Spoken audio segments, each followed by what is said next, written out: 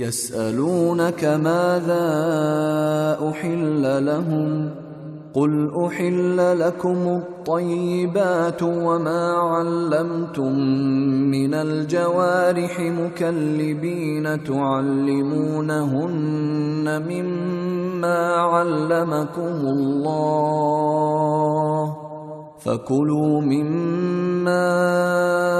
امسكن عليكم واذكروا اسم الله عليه واتقوا الله ان الله سريع الحساب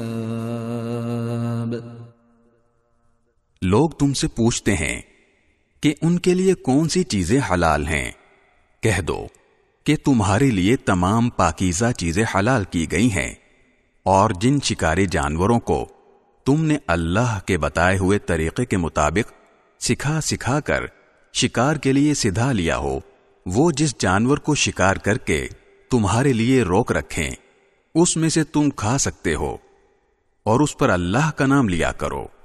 اور اللہ سے ڈرتے رہو۔ اللہ جلد حساب لینے والا ہے۔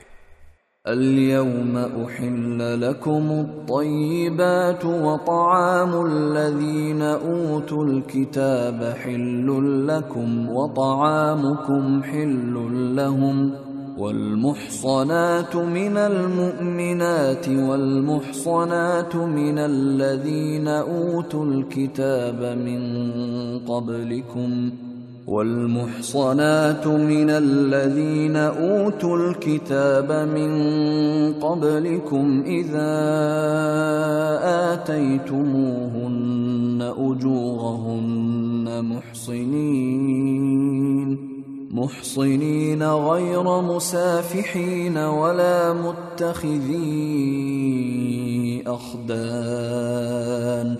ومن يكفر بالإيمان فقد حبط عمله وهو في الآخرة من الخاسرين۔ آج تمہارے لیے پاکیزہ چیزیں حلال کر دی گئی ہیں۔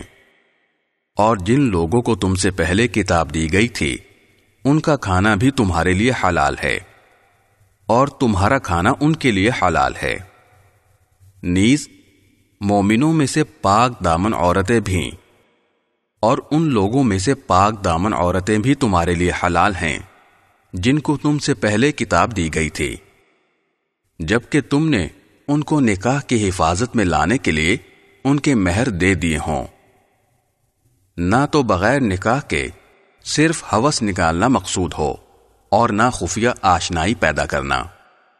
اور جو شخص ایمان سے انکار کرے اس کا سارا کیا دھرا غارت ہو جائے گا، اور آخرت میں اس کا شمار خسارہ اٹھانے والوں میں ہوگا۔